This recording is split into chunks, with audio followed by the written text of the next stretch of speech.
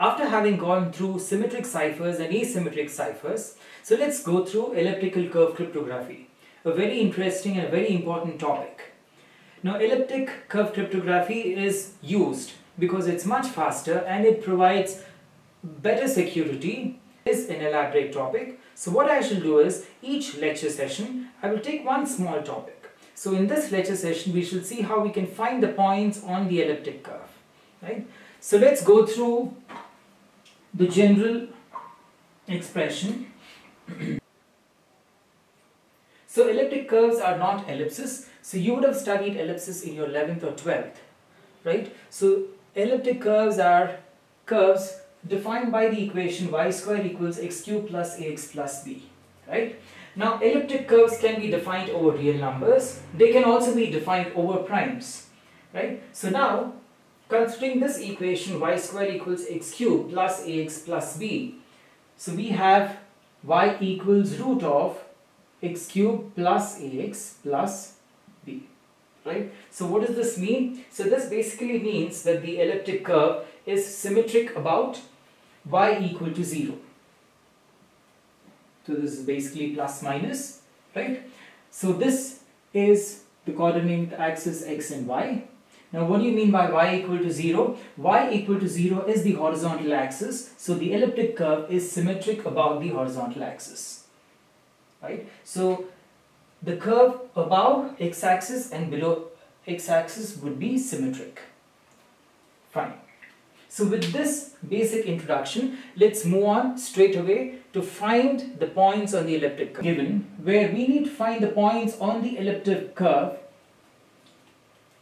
defined by E11 of 1 comma 6. Now what does this mean? Now this basically means that I have an elliptic curve where the value of A is 1 and the value of B is 6 right? So this indicates the value of A and this indicates the value of B. And what is 11? 11 means that we are operating in mod 11.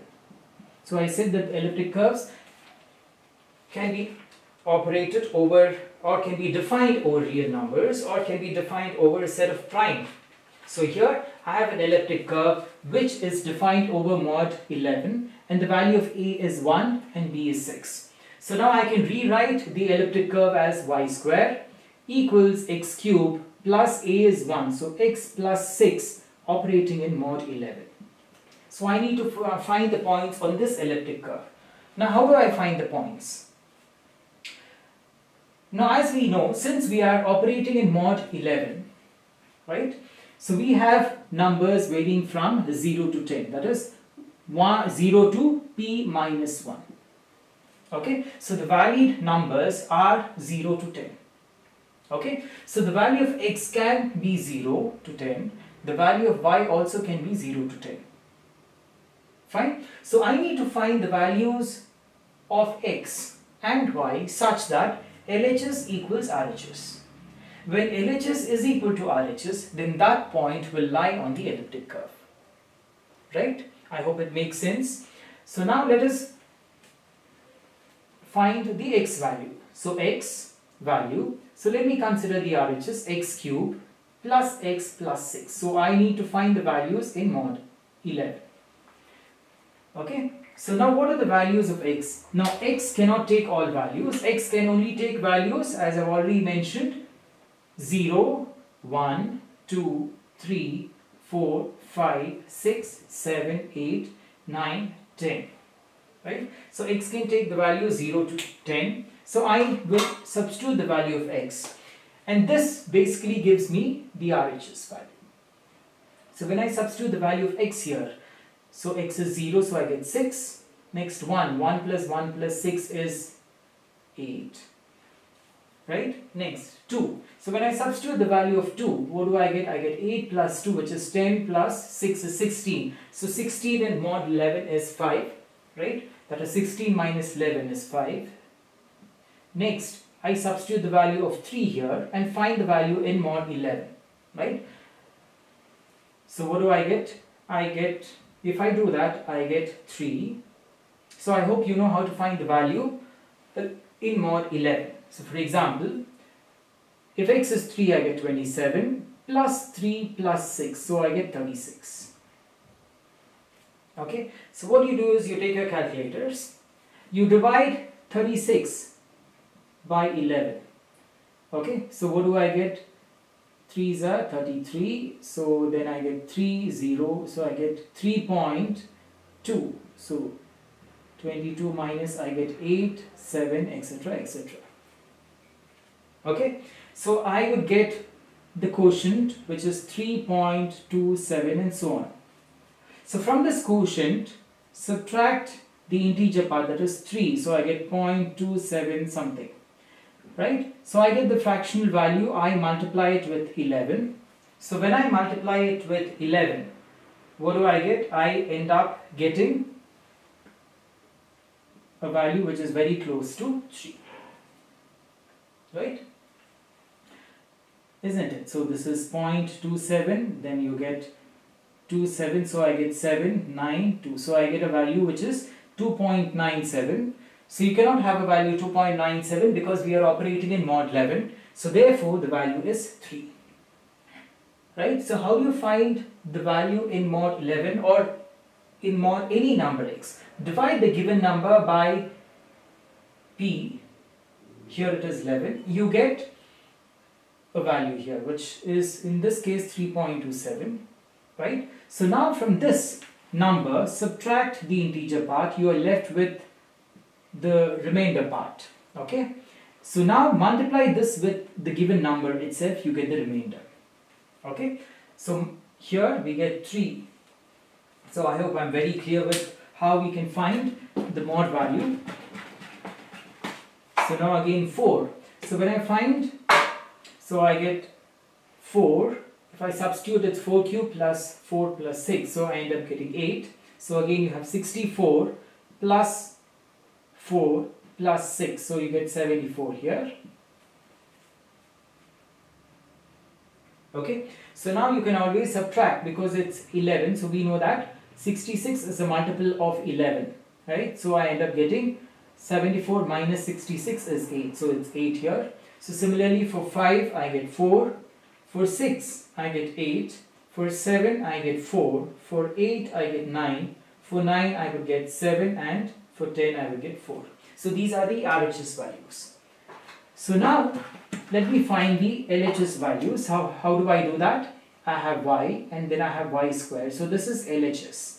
So I need to find y square in mod 11.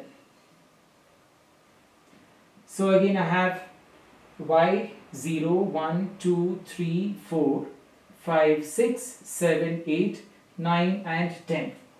So substitute the value of y.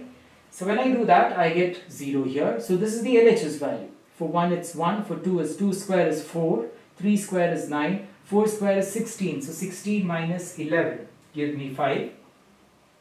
5 square is 25 minus 22 gives me 3. Next 6. 6 square is 36 minus 33 is 3 right? So since I have 11 here, it's very easy. I can just subtract it by a multiple of 11. So next 7. 7 square is 49, so minus 44. So I get 5.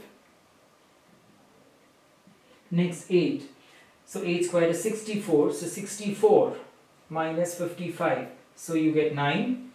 Next 9. 9 square is 81 minus 77. I end up getting 4 and 10 square is 100 100 minus 99 which is a multiple of 11 I get 1 so here we have the LHS and the RHS values so now I need to find the points.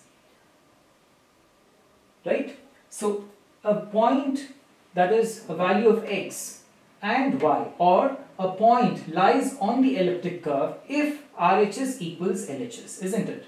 So now let me check. So I have 6 here. So let me check where 6 is present. In the LHS, there is no 6 present here. So definitely x, comma, y varying from 0 to 10 is not a point on the elliptic curve. Okay, so next, let me go to x equal to 1. So let us move systematically so that we don't miss out the points. So for 1, I get the value as 8. RHS is 8. So check if you have 8 in the LHS. You don't have 8 in the LHS. So this is ruled out. Next, for 2, I have 5 here. And if I check, I have 5 for 4 and 7. So if the x value is 2, right? So let me, so if the x value is 2, I have the RHS is 5 and similarly it is So if the x value is 2, RHS is 5 and if the y value is 4, RHS is also 5. So x is 4, sorry, the x is 2 and y is 4. Happens to be a point on the elliptic curve. So it basically means if I substitute 2 here, what do I get? I get 5 here. If I substitute 4 here, I will get 5 here. So 5 equals 5. So therefore 2 comma 4 is a point on the elliptic curve.